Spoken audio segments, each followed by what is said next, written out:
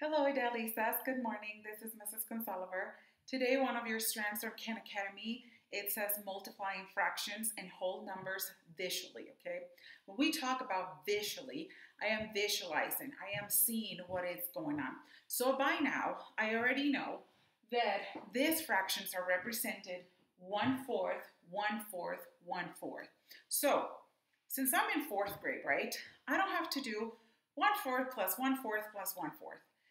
Uh, multiplication is a repetitive addition, and we already know that. So what I'm going to be doing is the following, okay? So this is 1 fourth plus 1 fourth plus 1 fourth, okay? So this is one way for me to see that 1 fourth plus 1 fourth plus 1 fourth equals to 3 fourths. Do you see that? Okay. Now there's another form. This is the repetitive addition. But since multiplication is repetitive addition, right? So what I'm going to do is the following. I am going to, okay, sorry about that. This hair of mine is just going in crazy in there. okay, so I am going to do 3 fourths, right?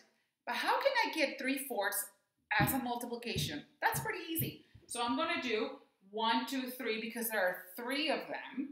So I'm going to multiply 3 times what? 1, 2, 3. I have 1 fourth because I have three of them. This is the equivalent of saying 1 fourth plus 1 fourth plus 1 fourth. So now what I'm going to do is to remember when I told you when you're multiplying a whole number by a, by a fraction, I told you and I said you guys have to convert this whole number into a fraction. That doesn't mean that you're going to do 3 over 3 because 3 over 3 would give you 1. And that's not what we're looking for. We're looking 3 as a fraction, as 3, not as a 1. So I am going to convert my 3 like this. 3 over 1 times 1 fourth. Do you see that? Equals 3 times 1 equals 3. And 1 times 4 equals 4. There we go. And that's how you solve it.